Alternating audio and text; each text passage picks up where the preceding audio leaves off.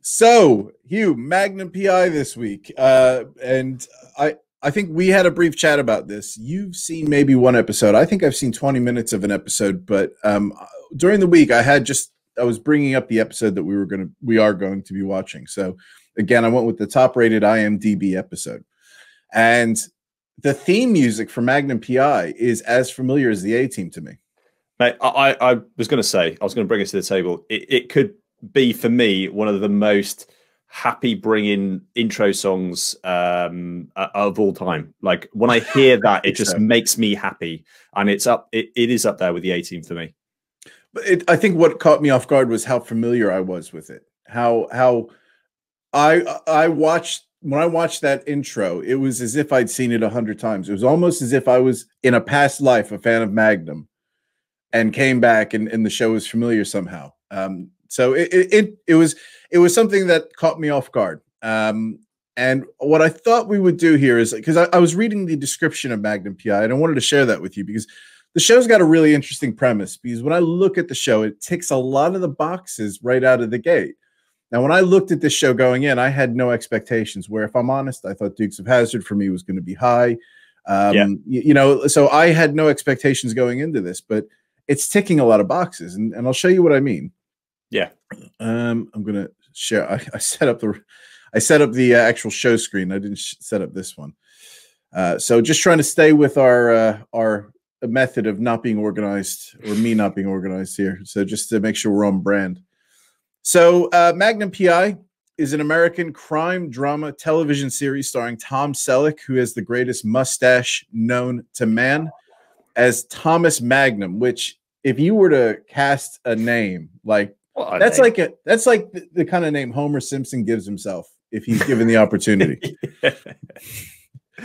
Private investigator Magnum. It's just it's perfect, isn't it? Thomas Magnum, a private investigator living on Oahu, Hawaii. Now that's a box ticked for me. Um, so when we look at 80s TV shows, we look at escapism, we look at that sort of I would love to be in this position living that life. So we've got, I'm i think, right. dreamland location. Yeah. The series, this surprised me, ran from 1980 to 1988 during its first run broadcast uh, on the American television network CBS. So I didn't realize it ran as long as it had. And that may be why the, the theme song is so familiar to me. Yeah, I'm I'm not I'm not as surprised by that. I thought it was like a, a decent term eight eight years actually in comparison to what we've done is, is on the higher scale though isn't it what i can't remember what yeah. dukes of hazzard was but dukes was close to eight solid. i think yeah. A Team was five miami vice was five so this is high, oh it's higher up there then yeah okay yeah uh, so according to Nielsen ratings, Miami, uh, Miami Magnum PI consistently ranked in the top 20 U.S. television programs during the first five years of its original run in the United States. Now, that for me is telling. Miami Vice in the first five years didn't, it was a good show and it was a very popular show and there was a lot of investment in that show. However, that show had a significant drop off. This show was peaking for the entire time, uh, you know, duration Miami Vice would have been on. Oh, that's so, some credit there. And, and, and what, yeah. what makes it, I, I don't know what the Miami Vice description was, but this is a crime drama as well. So would it would it been in the same uh, genre? Yeah, I, I think it's the same genre, but I don't know that it's quite the same. I think I think oh, Miami quality. Vice, I'd imagine there's some differences, but I, I thought like as far as like stacking up ratings and comparisons, it, it would be like for like almost. Yeah, I, I as much as and I've seen I've seen parts of Magnum PI and I've seen quite a few episodes of Miami Vice if you were to ask me if they're the same show, no, like, no. no. But they probably are going for the same demographic, really. Well, I remember Magnum PIB. I, I, I was surprised to see drama. I, I suppose that's what I'm highlighting because I, thought it was a bit kind of comedy, and you've got the um the psychic guy who I'm. Is he English or he's like he's got kind of like a slightly camp character as well, uh, if I remember. I think we're that is coming up in the description. So this this okay. is the premise of the show. So Thomas Sullivan Magnum the third, holy shit, he's the third, is a private investigator played by Tom Selleck, resides in a guest house of a 200 acre beachfront estate called Robin's Nest. That's another tick box. Dream home. Yeah, absolutely. in Hawaii at the invitation of its owner, Robin Masters, the celebrated but never seen author of several dozen lurid novels. So right away, I, I'm hooked because I want to know how the hell is he he in, into this setup here. Ostensibly, this is a quid pro quo for Magnum Services based upon his expertise in security. The pilot and several early episodes suggest Magnum had done Masters a favor of some kind, possibly, when Masters hired him for a case. The voice of Robin Masters, heard only in five episodes, was provided by Orson Welles. Hmm. Uh, hey. Mac, yeah, I, I had no idea about that. Magnum lives a luxurious life on the estate and operates as a PI on cases that suit him. The only thorn in the side of his near perfect lifestyle is Jonathan Quayle Higgins III, played by John Hillerman, an ex British Army Sergeant oh, Major. Oh, so, not camp, but I think when Americans cast British people, they were pretty much all camp. That's fair. Oh, I, think I got one out yeah. of two. Yeah. In, in America, British people and gay people, it's kind of like they're interchangeable. The same. Yeah. so, so, uh, and sorry, apologies uh, to Simon. I know you're watching, maybe. Uh, no, I'm not going to apologize. I appreciate that. Yeah, yeah. I, I, I could give a shit. I love you, man. Uh, okay, so an ex British Army Sergeant Major. He is on the surface a stern, by the book, caretaker of Robin's Nest, whose strict ways often conflict with Magnum's more easygoing methods. He patrol he patrols Robin's nest with his two highly trained lads, Doberman pinschers named Zeus and Apollo. Magnum has free use of the guest house and a car. So we know the car, a Ferrari 308 That's GTS. It. Yeah. Quattro Valvole, but has a humorous aside in various episodes, often has to bargain with Higgins for use of the estate, amenities such as the tennis court, wine cellar, and expensive cameras. I'm still reading this, unlike the other reviews, because this is a fascinating premise it's, to a TV show. Weird, Very unique. I, are you okay with me continuing reading on? Because yeah, I, I feel like this is a book that I want to know where it's going. I feel the same way. So the relationship between Magnum and Higgins is initially cool, but as the series progressed, an unspoken respect and fondness of sorts grew between the pair. Many episodes dedicated more screen time to this odd couple pairing after the relationship proved popular with fans. Recurrent theme throughout the last two seasons started in the episode Paper War involves Magnum's sneaking suspicion that Higgins is actually Robin Masters since he opens Robin's mail, call uh, calls Robin's Ferrari his car, etc. This is all fascinating. This suspicion is neither proved nor disproved, although in at least one episode, Higgins is shown alone in a room, picking up a ringing phone and talking to Robin Masters, indicating they are two different people. Well, that kind of gave it away for me. So uh, so this is this is an interesting premise, and, and in my mind, I'm just trying to figure out what sort of work or what what's he done to to have this property and have this estate. But it just sounds like a really interesting framework for a TV show. Yeah, it does. Uh, like you said, it, it's very idealistic, isn't it? Like the location, Hawaii, this amazing estate, and he's got kind of seemingly free reign to all of this stuff. Um, this really cool stuff, hmm. especially the car. I remember that was like, you know, I think the two main things that I remember in in this series was the Ferrari and the mustache. Those are like yeah. really the premise of it. So, uh, yeah, mate, I, am really glad you went through that. I'm, I'm, I'm even more intrigued to, to get into the episode now. So, yeah. so you've done a bit of searching and found the most popular one. Yeah, so I found the most popular one, and it is uh, episode one, season one. Is that the right oh, one? really? Straight no, that's in. not the one. Hold on, let me find the correct one because that wasn't the one that I.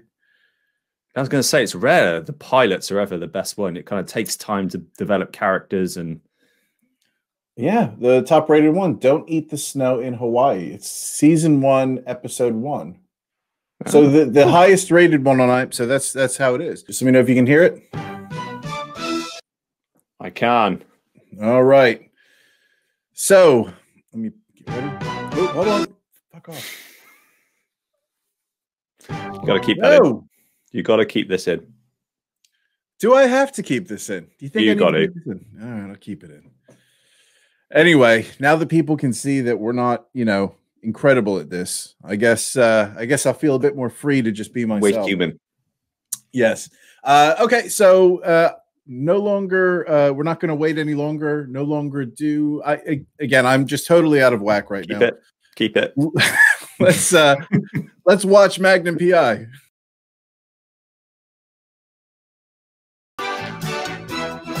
yeah, thanks. This guy's awesome. He is the man. Me? I live here too. So why am I breaking in? Well, I made a deal with Robin to run a series of security checks in exchange for living free in the guest house. The first check was to try and steal the Ferrari. Higgins, you yo-yo. Might be a few minutes late picking Dan up, but uh, when he saw the Ferrari, he'd forgive me.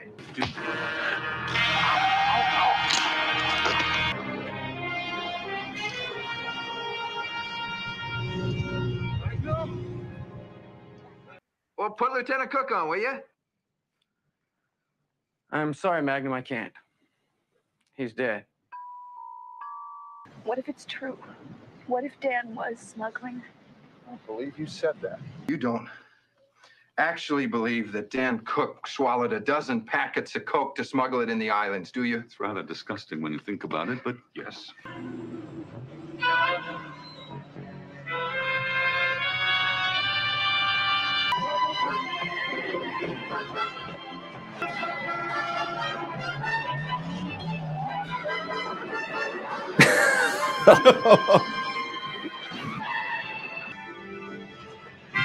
There we go.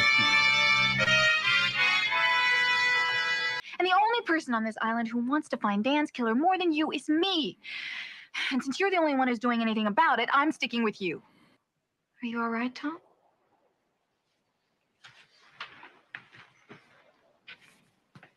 Fine. Do you, do you reckon this is going to be another to be continued? I think so. Oh, Oh, man. oh god! Come on. No. Joking. Oh Fuck. man. So this is the first vintage show that I've watched where I have forgotten that it was a vintage show. I mean, there was points in other shows that we've reviewed where that's happened, but this one, you know, outside of the fact that there was some dated music and, and of course the cars, the clothes are dated, and maybe even some of the behaviors with towards some of the women were a bit dated or how they portrayed some women. That being said, um, it was it was very relatable to today's standards. Yeah, I, I, I, I would agree mostly with that. To be honest, mate, uh, I, I felt very similarly to Miami Vice, where I was just in it, just just enjoy watching a TV program and, and enjoying it. looking at this show though from beginning to end um even the way it was set up it was just it was very well done it really introduced you to the show it was one of the best for Mm. me was one of the best it wasn't a pilot but season one episode one shows i've seen It seemed like a pilot, and I I would give the same uh, uh, kind of positive remarks as well, mate. The fact that actually they blended it in really well, like introducing you to the character, the backstory, their environment, all that type of stuff. Um, it was it was a little different, and I and I liked it. well the, the way they the way they introduced the character it- i i thought it was well written in to introduce his his background his skill set how he came to living at the house the relationship with higgins and how that was going to set up and even his personality so you you have the women who are living there uh you know obviously professionals who weren't working you know they'd finished their their shift as you know probably directors of companies those two More blonde women. Go back to your swim. Tidal pool sure looks good in the moonlight. Yeah, it's going to be nice to get out of the suits and back in the water. Yeah. that was my expectation and they were having a nice break uh but just you know his casual calm cool casual uh personality it- you know what they were demonstrating early on. I, I thought they did a really good job of of just getting you into the into the show in a very short span of time. Within five minutes i felt like i was up to speed and could watch every episode as if i'd been there for years. Yeah, I, I agree. When I watched the uh, episode and and maybe I've seen like segments of it as well, I I just remember it being more like jokey, like like a bit silly, cheeky, and, and that was in there. But thi- and maybe this is just the one-off episode, but it seemed a lot more serious and captivating than I was expecting. I, I was really taken back by that. So Yeah. with Miami Vice, I was expecting it based on what you said and the trailer, and there was just like there was a quality to it. But Magnum PI, I wasn't. I- I'm kind of pleasantly surprised with how much I, I liked that side of it. There was more quality than I was expecting. Yeah, I got to I got to use the caveat that his backwards entry into his guest house was um unbel- it was off the scale of cringeability. Hello. Hi, guys. Yeah! Higgins, what are you doing? I thought we should have a bit of a chat. um, with the two dogs waiting for him. But that aside, uh, I mean, Higgins I find cringeable. His clothes Yeah. are abysmal. But outside of that, you know, it, it, wa- it wasn't too bad. There wasn't a lot of it. You know, it was it was it was good. I think his acting was actually, you know, solid throughout. I mean, it's Tom Selleck.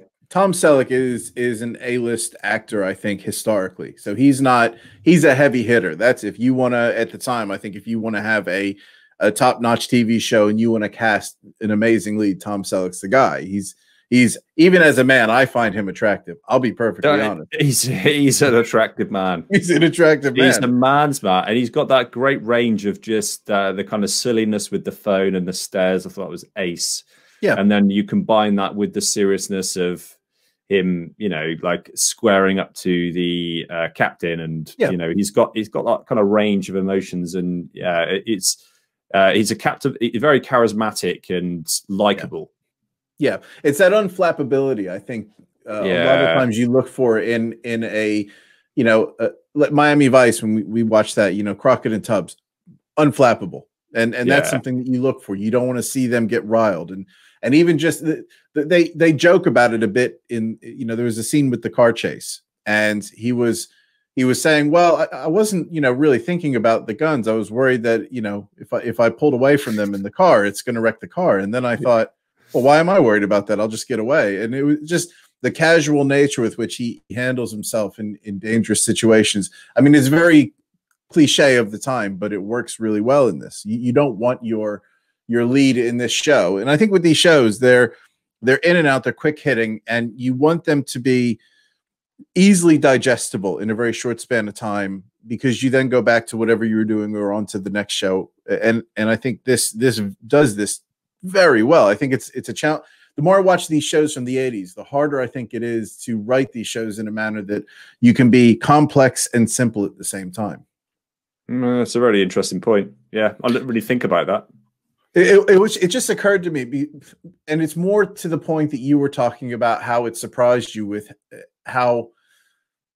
What did you say? It was it, it was more engrossing than I thought. I guess it was the quality. Yeah, of the, plot line was a bit yeah, a bit more that drama. I Yeah. was in it. I was really, you know, enjoying it and watching it, and I, I wasn't expecting that. I, I was expecting far more cheese backing into the door, and he's there type of, you know, type of thing. I was expecting way more of that, um, and I was pleasantly surprised with the quality of it. But I think I think when you look at I I kind of ignored that that episode because I think a lot of times I chalk that up to a period piece anyway. Um, and what and we spoke about this earlier. When I look at the scene where he's giggling, getting his his um uh not magnifying Binocu- glasses, his binoculars, binoculars. whilst he's on Yeah. the phone.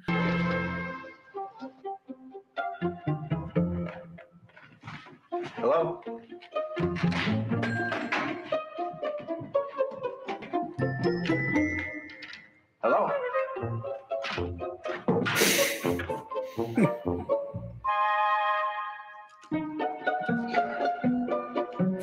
Good man. Yes. Hello?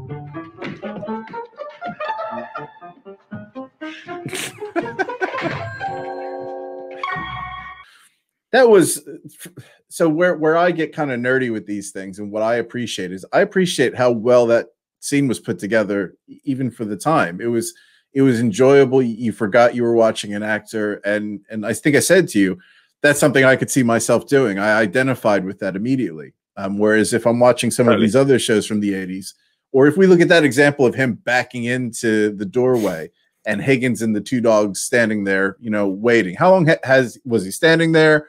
Uh, you know, why did he back into his own place? I don't get that. I guess he was worried about the dogs maybe coming after him. Uh, that was it, but to the extent that he had zero care about where he was walking into as a private investigator, ex forces, you're like, ah, I don't know if you Yeah. do that. But that's that's more what I would expect. And and when I look at that scene with the binoculars, I just thought that was that was a good example of for me. It just really hooked me on the character. You know that Yeah, That- that fun loving. Uh, you know he he he played it cool with the ladies, but you know he didn't take himself too seriously. You know when he was on his own. Um, yeah, it was. Mate, there was there, there was some handy work with the phone too. Let's give him some props with there. There's a little bit of skill in that, in that especially when he flicked it up and caught it firsthand when it was dangling down. yeah, Had his binoculars, ran back up, and then flicked it, caught it, and then he was like, "Hey, get me on!" And he was like looking. It was this. There's like a smoothness to it. There's the playfulness of it. Yeah, like he giggled. It was like he was in the moment, and you could relate to like Yeah. I could totally imagine doing and being exactly the same as Yeah. that. And uh, yeah, it was it was quite endearing, wasn't it? The the other thing I think is worth noting, the storyline, and I think what made it so captivating was the storyline was actually very very good as far as how they they brought in the the dramatic element where I I wasn't questioning the plausibility of the storyline, which I think to a certain degree when, when we watched A Team, um, Dukes of Hazzard, maybe maybe less so Miami Vice, but you you question. agree. and there was even elements that we questioned in Miami Vice. I didn't really question the premise of this storyline. I wanted to know how did he end up with cocaine in his stomach? Yeah, I they wanted kept to that know-. Yeah, There's not and- even you know, and why they're trying to kill kill him, and uh, there, there's a lot of unknowns there. Yeah, and it's not it's it's not a distraction i'm not it's not as if um you know it's it's not contrived in any way. It's it's just a very simple they didn't go with anything complex. They went with something very plausible and they went with somebody who's very close to him and you have you know identifying with that character which automatically you identify with tom selleck you buy into him as a character.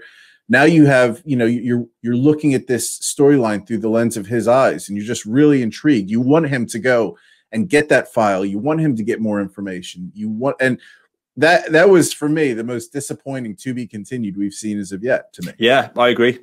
Yeah, I Yeah. feel feel exactly the same uh, way. Um, and weirdly, my timing of when I mentioned it, and within a couple of seconds, it popped up to be continued. It's like no.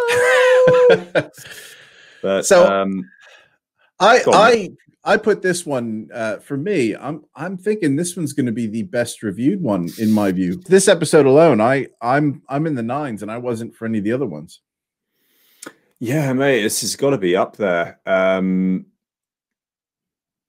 I think it might edge the Miami Vice, and the Miami Vice was better in some regards. There was a bit more artistic flair going on, and I and I Yeah. appreciated it for that. There was some higher quality in Miami Vice, but just being in it, I think I felt, and maybe there's some bias because there's more recency bias Yeah, that you know because we've just seen it, is better but I, I think it was just for me whatever my miami vice was it's slightly more i i'm going to find it difficult to compare it to batman because it's a different it's a drama versus a comedy and uh, there, uh, for me there's no better it's just whatever mood that you're in for whether you're in for Yeah. something a little bit more serious or the humor so um what would have you got the scores there sean yep, yeah. I'm put? just about. To, I'll bring these up now.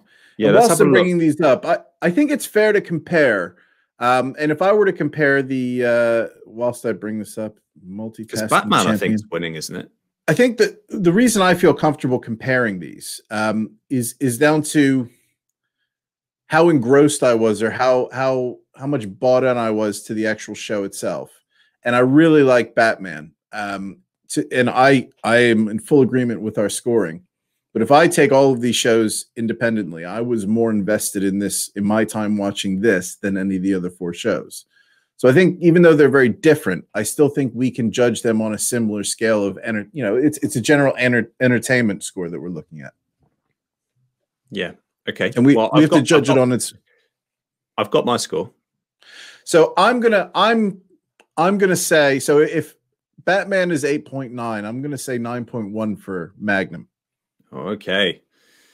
So I was going to split the difference between Batman and Miami because Batman for me, I would always pick humor over drama, and I absolutely loved last week, and I was I really wanted to watch another one. Yeah. I felt this pipped Miami Vice. Uh, the, Miami Vice has it in other categories, but overall as an episode, I'm going in at a, an 8.8, and it's probably on the conservative. It could go up to higher, but I'll stick with that, especially as you're in the nines. So so well no, we, we got to go with the average. So 8.8 and I said 9.1. So we're we're at eight point nine five.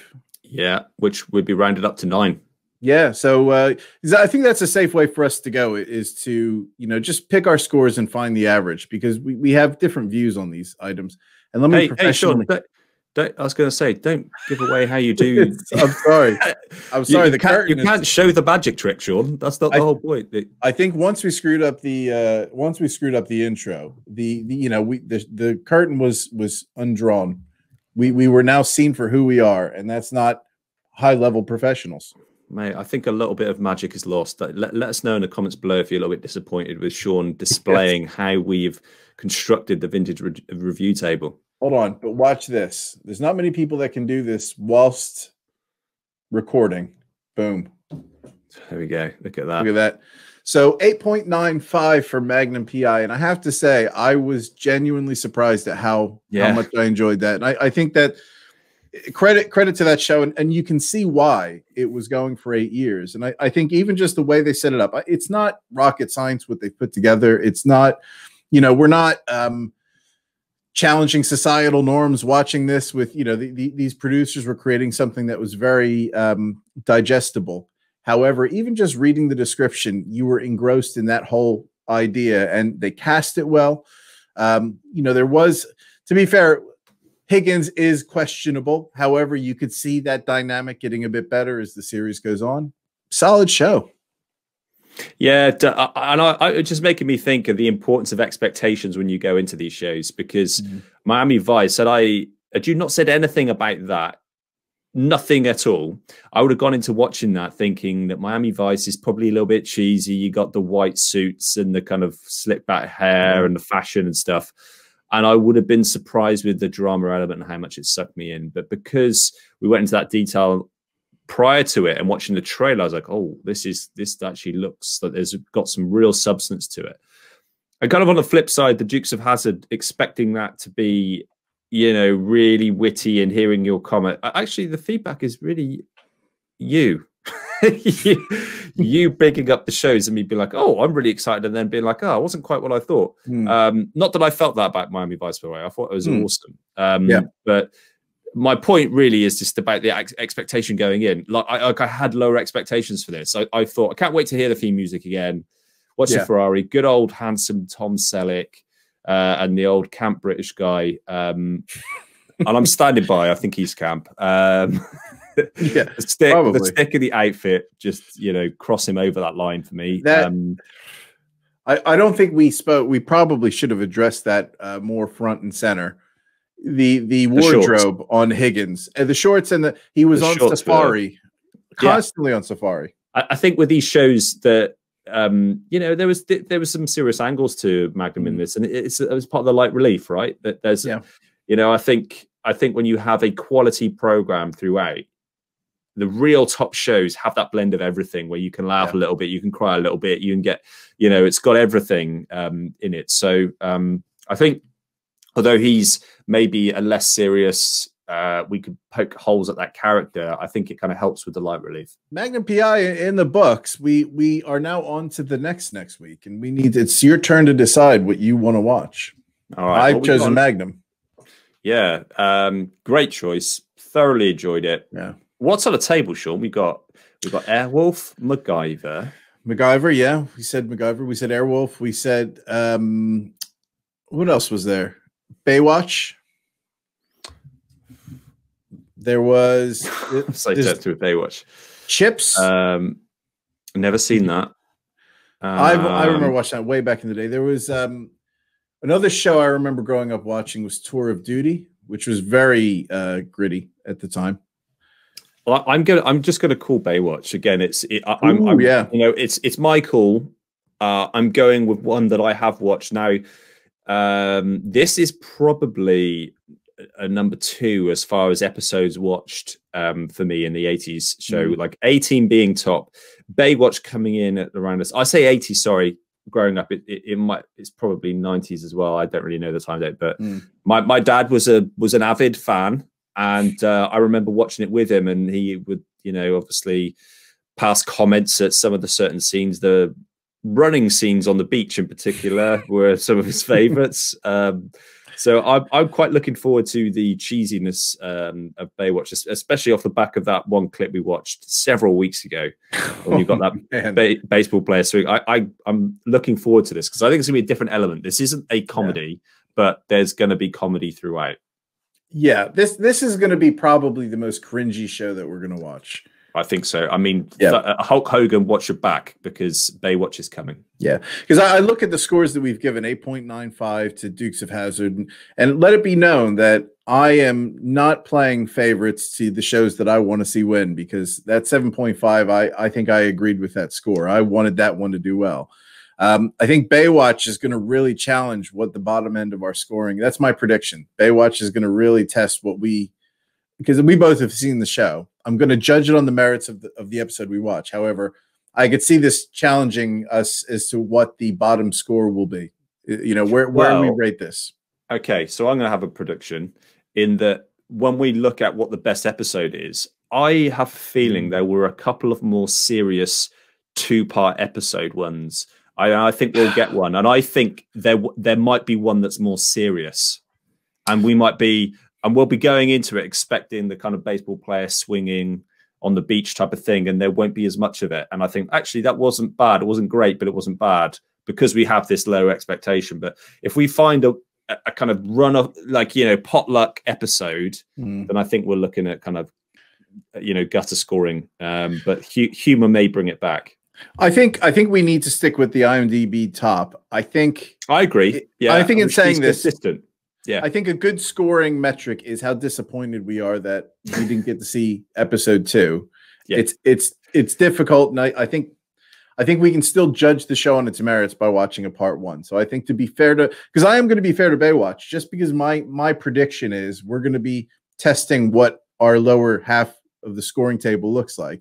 That doesn't mean that I'm going to necessarily do that. Yeah, Um, give, it, and give it a chance. We'll see. And Yeah, it's well. been a long time. And Yeah. yeah. Well, uh, mate, I wanted to say as well, just to before I forget, it was Knight Rider was another one we talked about. Knight Rider. It's Oh, David Hasselhoff, so Yeah. he's in there as well. Got to remember him.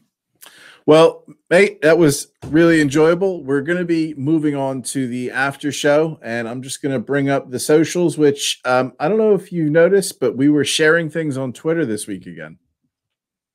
Oh no, I didn't. I've not been on it for a long Yeah. time. Oh, Yes. okay.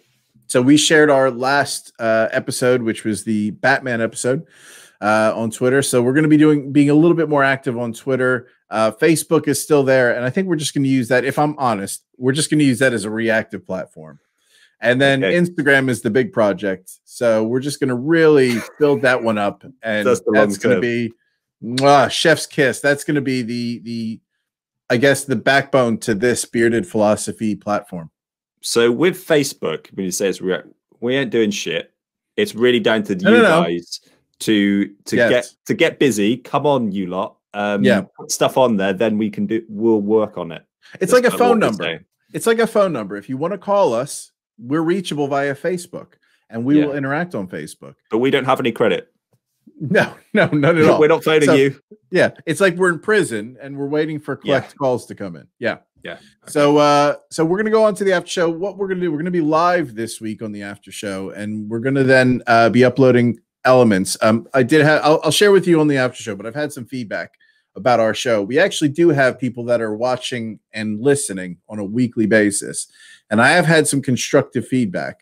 Um, Oh, so I will share that. But what I'll do is Awesome. I'm going to end this broadcast and I'm going to start a new one, Hugo. Uh, and I have to go for a fourth P. So I look forward to catching everybody next week. And Huw, I will be live with you in about two minutes. See you in two. All Thanks, right, we'll see everybody. Thanks. See you next week.